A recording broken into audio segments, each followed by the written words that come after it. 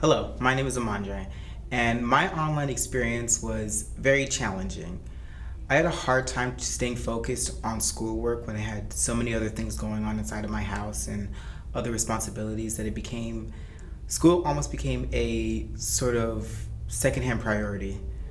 So it really became challenging for me to go to online school and stay focused and try to get all my grades in on time.